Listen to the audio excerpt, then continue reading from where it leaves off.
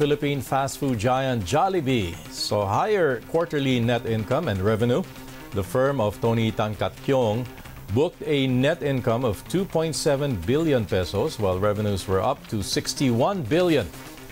Meanwhile, net income of Lucio Tan Group was at 6.42 billion pesos in Q1, slightly higher than last year's 6.38 billion. This growth was driven by strong earnings from its banking and tobacco businesses. The Philippine National Bank contributed 46% of the total, while its tobacco business added 41%. And finally, Philippine 7 Corporation, which operates 7-Eleven stores in the country, reported a 21.2% growth in net income. Capitalizing on this growth, the firm aims to add about 450 7-Eleven stores this year to bring its total number to 4,000. The Philippines seeks to learn from the Netherlands in establishing a national food hub in Clark, Pampanga. A Philippine delegation, including officials from the Clark International Airport Corporation, visited Amsterdam last week to learn best practices from the second largest exporter of agricultural products in Europe. Dutch officials taught them the need to timely deliver uh, the right product to consumers with the help of modern technology. Now, last year, President Ferdinand Marcos Jr. gave the green light to the Trade Department's three year Food Logistics Action Agenda, which includes the creation of a national food hub in Pampanga. Now, the 88 or the 8.5 billion peso project aims now to be the country's premium wholesale market and distribution source of high value and top quality food products.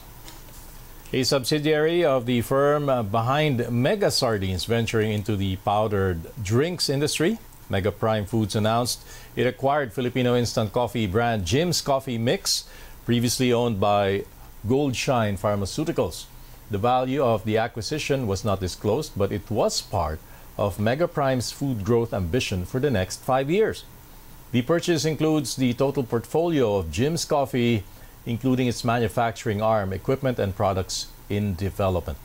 Now, Jimm's Coffee Mix is known for providing added ingredients, including ginseng and agaricus mushrooms that have health benefits. The Figaro Coffee Group bears its game plan for growth this year, but nothing much is brewing at its namesake coffee unit. Instead, it aims to grab a bigger slice of the pizza segment. Jackie Pascual has more. The Figaro Coffee Group is now focusing more on expanding its pizza business rather than its namesake coffee brand. Its chairman Justin Liu says Angel's Pizza now contributes 75% of the company's sales, and he plans to make it the number one pizza chain in the country in five years. Angel's Pizza is enjoying more of the capital because that's where a lot of the sales and the EBITDA and the profit is coming from and also the growth potential. Angel's Pizza now has nearly 130 branches, while Figaro only has some 60 branches. Liu explains they still plan to add new Figaro cafes, but the coffee business in the country is no longer as lucrative as before. Coffee is a very competitive industry and a very low barrier to entry right? Anyone can just open a coffee shop, and uh, people are actually you're seeing people shying away from large coffee brands na rin. The delivery business has also grown significantly since the pandemic, and Liu says among all its restaurants, it is the pizza business that has benefited the most from delivery. Over 50% of sales of Angel's Pizza is via delivery. But they also want to expand its dine-in service by offering party packages to customers. Yung mga provincial usually and um, meron din kami like dito sa Manila sa Retiro, pwede rin sa BGC, nagkaroon na din ng mga small parties.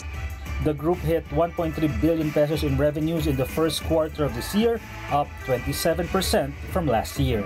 Jackie Pascual, ABS-CBN News.